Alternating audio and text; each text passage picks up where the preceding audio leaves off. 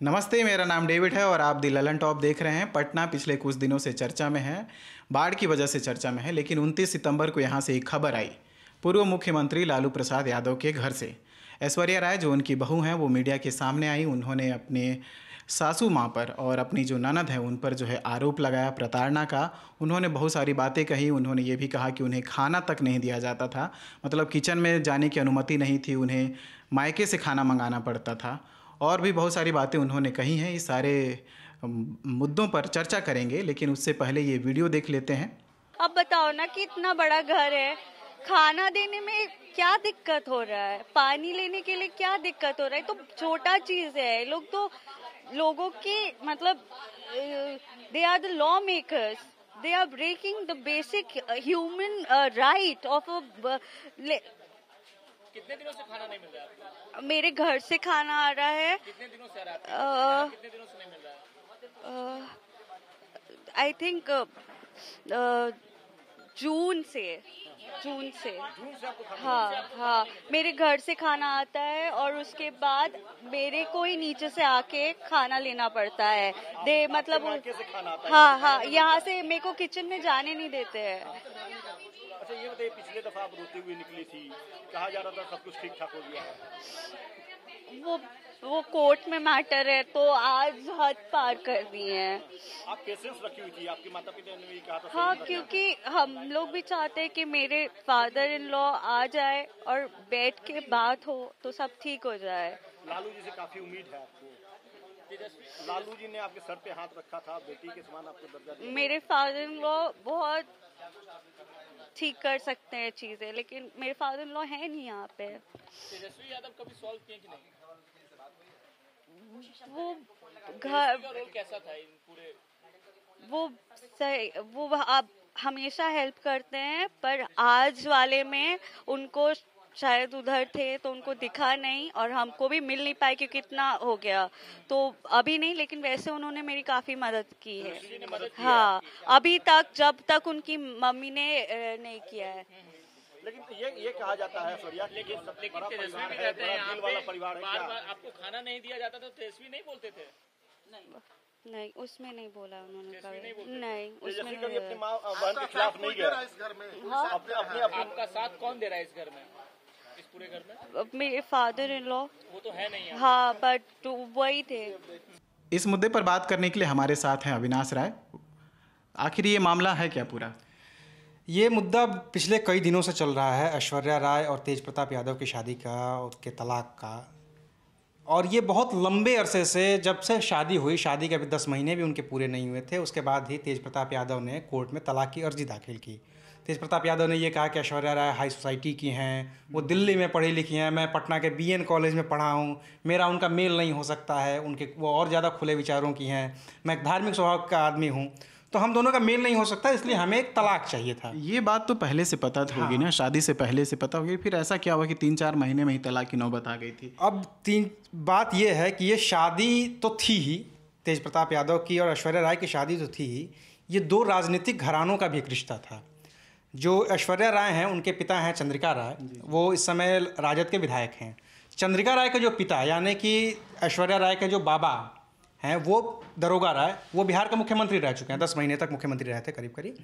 और जो लालू यादव आज जिस हालत में हैं मतलब जितने बड़े नेता हुए उसके पीछे दरोगा राय का भी हाथ था। लालू यादव को बढ़ाने वाले दरोगा राय हैं। तो दरोगा राय और लालू यादव की बहुत आपस में अच्छी जमती थी। अब ये हुआ कि इन दोनों का जो सियासी चीज़ें थी सियासी तौर पे दरोगा राय को भी आगे बढ़ दरोगा राय के बेटे जो चंद्रिका राय उनको भी आगे बढ़ना था। लालू यादव को भी आगे बढ़ना था। तेज प्रताप यादव राबड़ी देवी के बहुत लाडले बेटे हैं सबसे बड़े बेटे हैं इसलिए लाडले बेटे हैं। छः बेटियाँ हुई थी उनकी उसके बाद तेज प्रताप यादव हुए थे तो उनका बहुत लगाव था। तो वो चाहते थे कि एक तो शादी अच्छी हो जाए और दूसरे इस शादी से जो सियासी रिश्ते हैं वो और ज़्यादा मज़बूत हो जाएँ। तो इसके लिए इन लोगों ने शादी की थी तेज प्रताप हालाँकि उस समय भी नहीं मान रहे थे। उस समय भी एक खबरें आ रही थी कि वो नहीं मान रहे हैं, नहीं करना चाहते हैं शादी।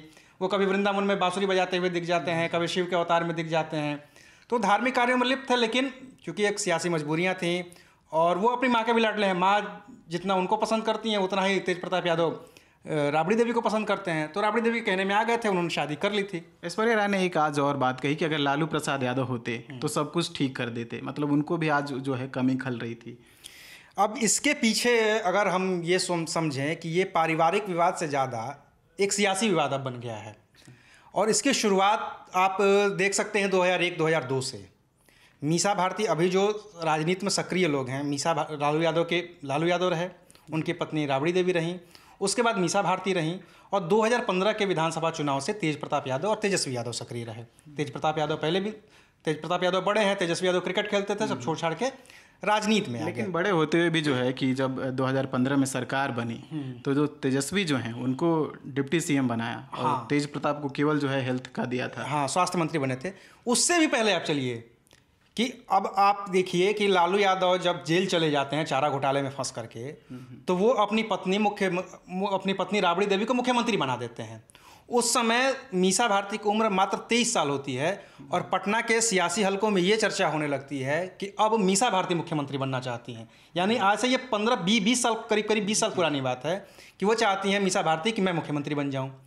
और तब लालू यादव एक बयान देते हैं और कहते हैं कि अगर विधायक दल चाहेगा तभी मीसा भारती मुख्यमंत्री बनेंगी, न कि मेरी बेटी है इसलिए मुख्यमंत्री बन जाएँगी। हालाँकि राबड़ी देवी को बनाने के लिए विधायक दल की राय नहीं ली गई थी। सेम बात हुई 2015 में। जब विधानसभा के चुनाव हुए तो तेज प्रताप यादव हैं राबड़ी देवी के करीबी। उनके लाडले हैं क्योंकि छह बेटियों के बाद हुए थे ज़ाहिर है माँ बेट और बड़े बेटे का प्रेम था। तेजस्वी यादव हैं लालू यादव के करीबी। लालू यादव की हर बात तेजस्वी मानते हैं तेजस्वी की हर बात लालू यादव मानते हैं। तो 2015 में जब चुनाव हुए तो तेज प्रताप यादव को लालू यादव के कहने पर साइडलाइन किया गया। और इनको तेजस्वी यादव को आगे बढ़ाया गया उन्हें डिप्टी सीएम दिया गया डिप्टी सीएम का पद दिया गया और उतना ही नहीं जब डिप्टी सीएम का पद भी गया उनका जब जदयू और आरजेडी का गठबंधन टूटा जब फिर से नीतीश कुमार सत्ता में आए बीजेपी के साथ विपक्ष के नेता की विपक्ष के नेता की भूमिका दे दी गई इनको। ये तो 2015 की बात थी।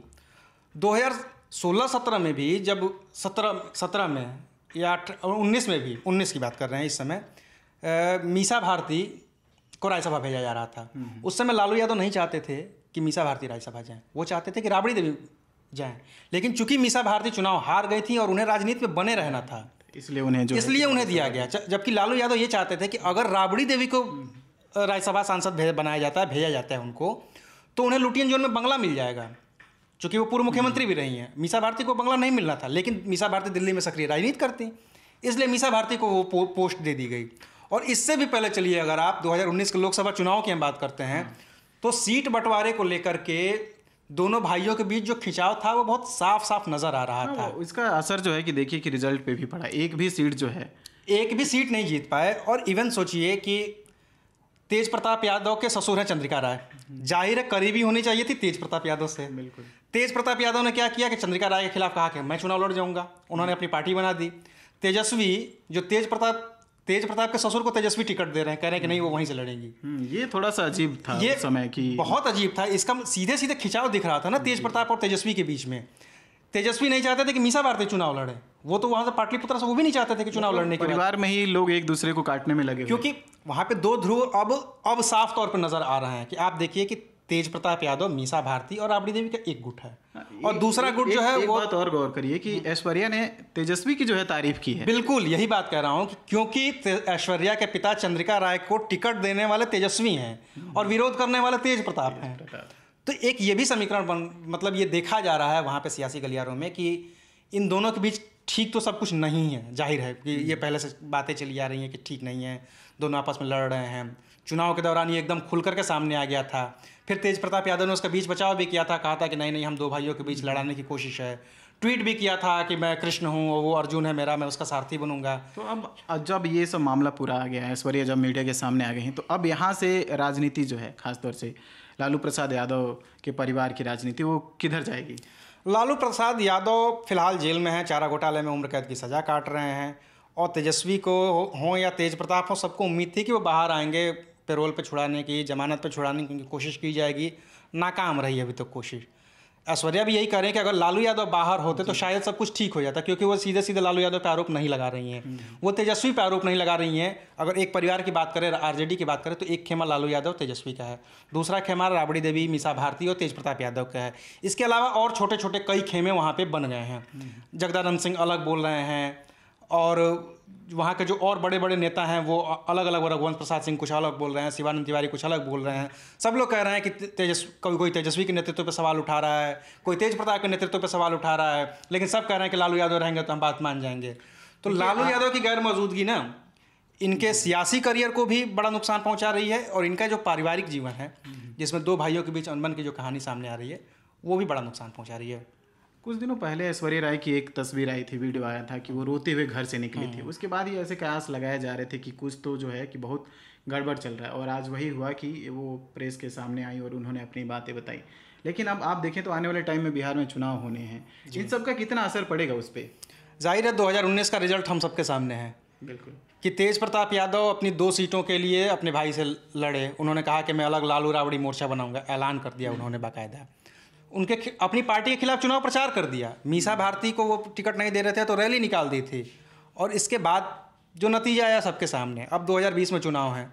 एक तो तेजस्वी यादव के नेतृत्व को ऐसे ही सवाल उठ रहे हैं और दूसरे जब उनके परिवार में फूट बढ़ती जा रही है लगातार बातें हो रही हैं। ऐश्वर्या राय ने आरोप लगा दिए सीधे सीधे राबड़ी देवी पर आरोप लगा रही हैं सीधे सीधे मीसा भारती पर आरोप लगा रही हैं कि मुझे किचन तक में नहीं घुसने दिया जाता मैं अपने मायके से खाना मंगा के खा रही हूँ। अगर लालू यादव होते तो ठीक हो जाता, और तेजस्वी चाहते हैं, कोशिश करते हैं, लेकिन तेज प्रताप नहीं सुन रहे हैं। तो ये तो सीधा सीधा अब दिख रहा है कि दो भाई तो एक साथ फ़िलहाल नहीं, नज़र नहीं आ रहे हैं। हो सकता है कि इसके बाद तेज प्रताप यादव ऐसा हमेशा करते रहें एक प्रेस कॉन्फ्रेंस करें और कहें कि नहीं नहीं ऐश्वर्या राय ऐसा बोल रही हैं। मेरा और तेजस्वी का सब कुछ ठीक है। या तेजस्वी यादव भी पिछली बार ऐसा ही किए थे हाँ। कि जब ये सब टूट फूट हो रही थी तो पता लगा कि सब बर्थडे सेलिब्रेट कर रहे हैं दोनों भाई मिल करके उसकी फ़ोटो छप रहे हैं वो उनके पैर छू रहे हैं वो उनके गले मिल रहे हैं केक लगा रहे हैं ऐसी फ़ोटो आई थी। तो फ़िलहाल जो है कि जो आज ऐश्वर्या ने किया है ये एकदम आखिरी कड़ी थी। पहले भी ये सब आरोप प्रत्यारोप लगते रहे इस पे क्या कानून भी कोई कुछ करेगा क्योंकि प्रताड़ना का आरोप लगाया उन्होंने? अब आरोप तो देखिए आरोप लगाया है। ऐश्वर्या राय ने कहा है कि मुझे ऐसा ऐसा किया जाता था। अगर ऐश्वर्या राय मुकदमा दर्ज करवाती हैं हम्म, हम्म। तब तो पुलिस अपना काम करेगी। और ऐसा नहीं है कि ऐश्वर्या राय ये कह के खारिज कर दें कि पुलिस मेरा मुकदमा नहीं लिख रही है क्योंकि वो इतने कमज़ोर परिवार की हम्म, नहीं है। वो एक बिहार के पूर्व मुख्यमंत्री की नातिन हैं एक विधायक की बेटी हैं लालू यादव की बहू हैं परिवार की बहू हैं। हालाँकि ऐसा लगता नहीं है कि वो कोई कानूनी कार्रवाई करेंगी अभी। अब अगर कानूनी कार्रवाई नहीं करती हैं तो फिर वो उनकी अपनी मर्ज़ी है तो फिर तो ये एक पॉलिटिकल स्टंट हो जाएगा अगर कानूनी कार्रवाई नहीं करती हैं तो। जो भी है फ़िलहाल तो इतना नज़र आ रहा है कि दोनों परिवारों के बीच सब कुछ ठीक नहीं चल रहा है। चंद्रिका राय के परिवार से और तेज प्रताप के परिवार से भले झगड़ा हो लेकिन तेजस्वी का और चंद्रिका राय का तो बहुत ही अच्छा था। तेजस्वी खुद प्रचार कर रहे थे। कह रहे थे कि मेरे पिताजी की सीट है, उस पर उनको लड़ना चाहिए। तेज प्रताप कह रहे थे कि मेरे पिताजी की सीट है, या तो मेरी माँ लड़े, या तो मैं लड़ूँगा। चंद्रिका राय, होते कौन है लड़ने वाले? तो ये तो मतलब लंबा परिवार, इनका सियासी ड्रामा रहा है। ऐश्वर्या राय रोते हुए नज़र आती हैं, ऐश्वर्या राय आरोप लगाते हुए नज़र आती हैं, लेकिन ऐश्वर्या राय उसी परिवार में दो लोगों को बख्श भी देती हैं, तेजस्वी और लालू यादव मतलब अपने देवर को और अपने ससुर जी को। बाकी अपनी सासू माँ को, अपनी ननद को दोनों को लपेटे में ले रही हैं। तो तो कुल मिलाकर हम ये कह सकते हैं कि भले ऐश्वर्या राय प्रेस के सामने आई हों, उन्होंने अपनी बातें कही हों, लेकिन आने वाले टाइम में ये मामला और खींचेगा। अब देखना होगा कि तेजस्वी और तेज प्रताप, या मीसा भारती जो है इस मामले में क्या बयान देते हैं, उनका क्या कहना है कि ऐश्वर्या के आरोप कितने सही हैं, कितने झूठे हैं, जो भी होगा ललन टॉप आपको बताता रहेगा।